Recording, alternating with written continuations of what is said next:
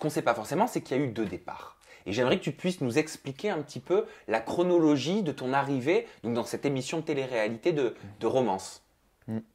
Le contexte. Écoute, euh, ça se termine entre nous euh, au mois d'octobre. Euh, oui, on se sépare plusieurs mois.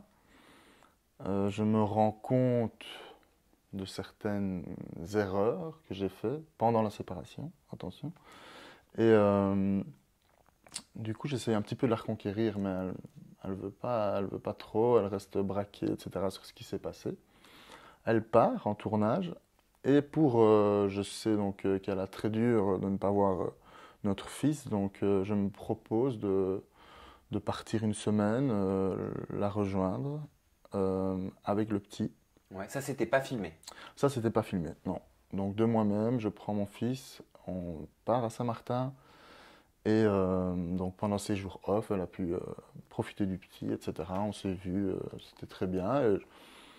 Je repars, je repars en Belgique. On a un peu discuté, mais bon, ça reste assez fermé. Et là, c'est vrai que du coup, je, je décide de, stopper tout. Je, je lui fais savoir. Et, et voilà, quelques jours se passent et le deuxième départ.